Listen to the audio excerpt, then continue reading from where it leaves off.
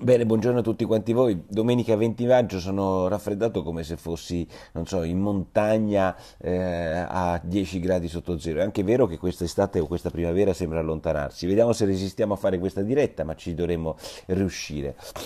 Sui giornali che cosa succede? Beh, ma insomma succede quello che io avevo anticipato ieri, vi prego di andare a vedere quello che abbiamo detto ieri alle 19 prima sul mio video riguardo alla TAV e riguardo alla presa di posizione, ciao Lorenzo, alla presa di posizione Marco mi dico se è rientrato, e la posizione del, um, di Di Maio sul governo, che è una posizione che i giornali oggi titolano in maniera diversa. Di Maio torna no TAV, è il titolo della stampa, eh, scure Movimento 5 Stelle su TAV e Ilva, questo invece è il titolo del Corriere della Sera, stop ai lavori della TAV, cioè in realtà quello che ieri è emerso è l'anima diciamo eh, più pericolosa dal mio punto di vista del Movimento 5 5 Stelle, che non è tanto il reddito di cittadinanza e tutte quelle minchiate là che poi si potranno, vedremo come fare, con quali risorse fare, ma la loro capacità di interdizione nei confronti di uno sviluppo di un paese che ha bisogno di svilupparsi il più possibile, cioè è il metodo della pecora. Abbiamo un problema con l'erba, lo utilizziamo invece che il falciatore elettronico automatizzato 4.0, cosa utilizziamo? Le pecore, no?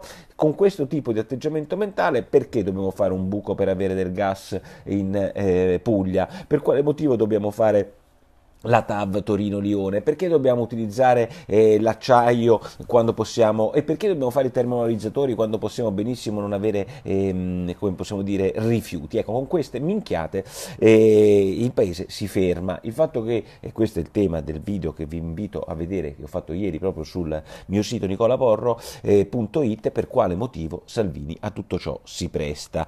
Ehm, in realtà oggi sulla TAV Torino-Lione ehm, dicono dicono che il costo del bloccare questa opera, utile o non utile che sia, ma tutte le opere pubbliche di grandi infrastrutture, anche le autostrade qualcuno sosteneva non fossero utili, poi si è visto quanto le abbiamo usate, le autostrade del sole intendo, bene, questa opera pubblica bloccarla costerebbe 2,3 miliardi di euro.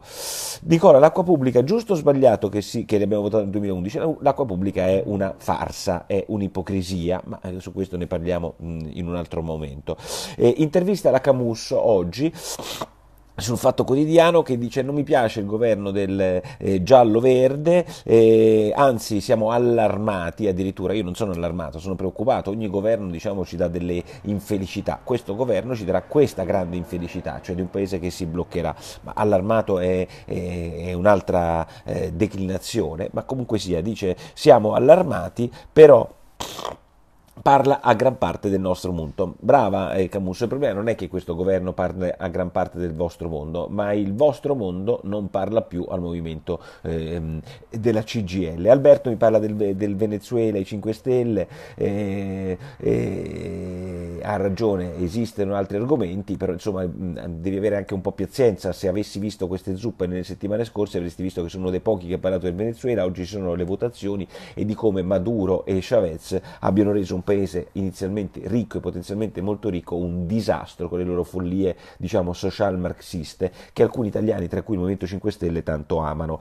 E il debito pubblico, però, questa è la vera obiezione che vi faccio, perché oggi sono due articoli, uno di Belpietro che dice attenzione alle coperture lui che ieri non ha eh, smontato il programma del Movimento 5 Stelle, della Lega, dice attenzione alle coperture. Ma io invece vado a vedere un pezzo di oggi fatto dal, Sol, dal Corriere della Sera, pardon, in cui intervistano l'uomo che si occupa del debito pubblico in Italia. Prima era questa signora Cannata, adesso viene eh, sostituita da questo Iacovoni, che sembra un settantenne, in realtà 40 anni, il quale mh, mm, ci ha parlato dell'ultima emissione che ha fatto questo BTP Italia, una emissione che è andata molto bene bene, hanno dovuto un po' alzare la cedola di mezzo punti da 0,40 a 0,45, ma il punto fondamentale è che dice l'interesse degli investitori per il debito pubblico italiano, per i titoli di Stato, c'è ancora ed è fortissimo, inutile che diciamo eh, stupidaggini. Certo, ehm, è fantastico quello che dice, sei un pessimo giornalista, io non so, ma perché perdi tempo?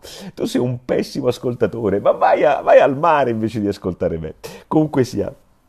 Questa intervista a Iacovoni ci dice che le ultime emissioni dei titoli pubblici sono andate bene, non così male, un po' di più hanno, le abbiamo dovute pagare, ma non è che questo disastro di cui i giornali ci parlavano. Ma il punto fondamentale, ve lo ripeto, sul Corriere della Sera di oggi è il grafico dell'andamento del debito pubblico tra il 2000 negli ultimi dieci anni, tra il 2007, 2008 e il 2017. Bene, è passato dal 102% del PIL al 130%, cioè in questi dieci anni che abbiamo, abbiamo, detto c'era Letta, c'era Monti, c'erano tutti i fenomeni, c'è stato Renzi, quello che volete voi, che cosa abbiamo fatto? Abbiamo aumentato il debito pubblico di 250 miliardi di euro, cioè 30% in più e adesso stiamo rompendo le balle a questo governo per la loro tenuta sui conti. Beh, potremmo farlo negli ultimi anche dieci anni, posto che non mi sembra che ne abbiamo molto eh, invece invece tenuti sott'occhio, noi giornaloni attenti ai conti del governo giallo-verde. Io più che ai conti del governo giallo-verde, come vi ripeto, sarei più eh,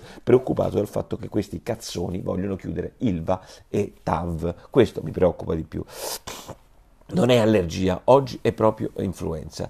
E alla ricerca del Premier è il secondo grande capitolo di oggi, ehm, e cioè sono tutti alla ricerca di questo uomo che possa andare bene a Mattarella, perché poi c'è quest'altra grande possibilità che oggi evoca, mi sembra, la verità, il piano per far fuori il governo Lega Movimento 5 Stelle. Si presentano con un candidato Premier, oggi molto in voga il nome di questo eh, giurista, e, e il Quirinale glielo boccia, gli boccia il candidato e quindi si va al governo del presidente. Io non so se questo avvenga, però insomma eh, può darsi. Sallusti chiama questo governo senza premier, siamo il governo di scherzi a parte, un po' ingeneroso, mettiamola così. Comunque il giurista Conte è quello che secondo le previsioni oggi ha più chance di diventare presidente del Consiglio. Ma chi è sto Conte? Lo scopriremo nei giorni prossimi.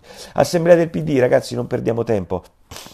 Ieri è stato un gran casino, dovevano cercare di capire cosa era il futuro del Partito Democratico, devo dire che il futuro è piuttosto triste, visto che ieri hanno, hanno, deciso di non decidere e di riconvocarsi fra un mese. Nel frattempo Martina farà il reggente. Direi che la situazione del PD è eh, tragica, ehm, un po' come quella del centrodestra, eh, sia chiaro, perché il centrodestra mi sembra che sia del tutto evidente che non esista più, nonostante gli sforzi che fanno Salvini e Berlusconi eh, ogni tanto per sentirsi, ma insomma, il centrodestra non esiste più, il PD non esiste più, esiste soltanto il Movimento 5 Stelle che ha ripreso la sua forza, diciamo, eversiva da vaffanculo, come si vede sulle questioni TAV.